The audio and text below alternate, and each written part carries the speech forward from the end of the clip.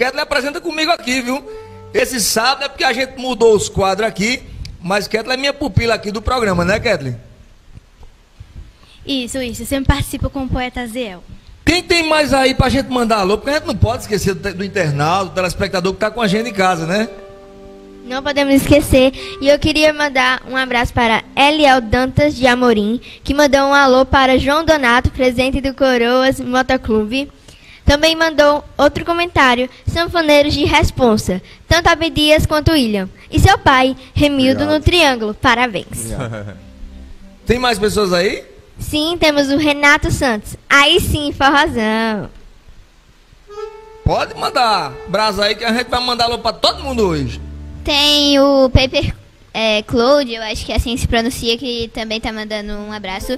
Chico do Rádio também tá mandando boa alô, tarde. Chico Rádio, Alto Sertão, Cajazeiras, Paraíba. Grande jornalista, grande amigo da cultura, viu?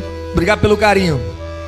E tem mais, Getúlio Moreira e São Paulo, interior de São Paulo, olha. Um abraço para Getúlio. Olha, e a gente recepcionando o amigo irmão Gabriel Diniz, esse cara que eu tenho grande admiração, respeito, cara jovem também, mas trazendo a cultura nordestina. E o bom de Gabriel é porque ele traz muitas referências de grandes poetas, grandes nomes da poesia. Zé Laurentino, para mim, eu sou suspeito de falar, um grande irmão de palco, uma pessoa que eu tive a honra de dividir palco muitas vezes e sou um admirador nato de Zé Laurentino. E assim, saudando a poesia, poeta, eu vou deixar para vocês mais ou menos assim, porque o artista, para fazer os seus trabalhos nesse Brasil, ele tem que ser um pouco louco, imperativo, com as dificuldades de subir ao palco e muitas vezes os valores que merecem não são repassados de forma correta. Mas a gente continua resistindo. E certa vez eu estava numa apresentação, ouvi quando a moça disse: Por que todo poeta é imperativo? Eu disse assim: Dizem que o poeta é louco pelo que pensa e faz. É mestre dos anormais, enigmático, visionário e diferente. Enxerga além de seu tempo, tira de onde não tem, faz de um príncipe um Zé Ninguém, transforma plebeu em fidalgo. É mágico do imaginário e passageiro do além. Eu te a respondo com certeza. Eu me inspiro naturalmente, tenho a percepção do amor, enxergo o valor do espinho, que protege uma flor. Preservando o seu perfume, vejo na luz do vagalume os olhos do Criador. Se pro mundo isso é loucura, eu sou louco, doutor. E assim, o meu diploma é na prática. É verso, é rima cantada, é prosa, declamação.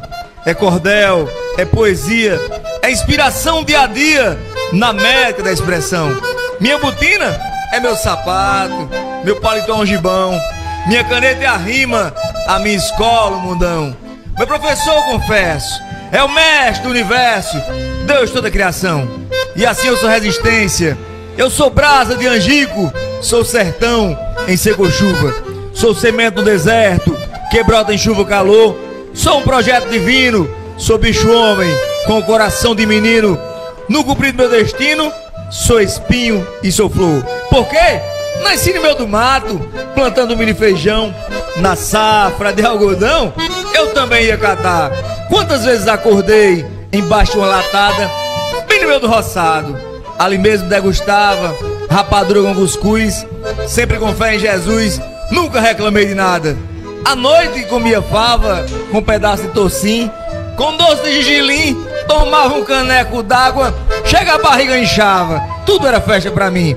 E antes de começar a novena, eu ligava em alto som o meu rádio canarim e a sala logo enchia de João, Isabel e Maria, menino moço rapaz. E eu do lado dos meus pais, numa felicidade só. Mas tudo que é bom dura pouco. No ano de 86, mês de lembro bem, meu pai veio a falecer. Me mudei para a cidade aos nove anos de idade e recordo para você que tempo bom igual aquele. Depois vim para a cidade, só saudade por ter. E assim, para nessa vida, nesse mundo eu já andei. Por cima de pó e pedras, furei os pés, mas cheguei. Já vi algo de lama, mas minha sede matei. Na seca sobrevivi, comendo palma com sal. Nunca reclamei de nada, nem me tornei marginal. Na infância fui criado, tomando leite de cabra e angu foi o mingau. à vista do que passei, Gabriel. Hoje vivo nas alturas, por que reclamar da vida, se já caminhei com a morte na beira da sepultura. E finalizando, entre amigos e amantes da cultura. Eu me sinto um poeta verdadeiro. Nem sou o último, nem também serei primeiro. Que escrevo, faço parte dessa história. Digo aqui, onde for, a qualquer hora. Se não fazemos e vocês não incentivam, morre a rima, o poeta não resiste. Seus aplausos é o adulto natural. Pro artista recompor inspirações, sem poetas, sem cachaça do tio João, sem chapelaria sertanejo, sem GK refeições, se o Nordeste tivesse sem um artista sem a rima, o que seria da cultura nordestina? Ô oh, Nordeste diferenciado! Meu compadre William, pra gente chamar o intervalo, aquele forró bem arretado, aquele poporri, que só meu compadre William Lima, esse jovem, sabe fazer aqui no Nordeste tivesse. Vamos embora. Eita, Nordeste está diferenciado!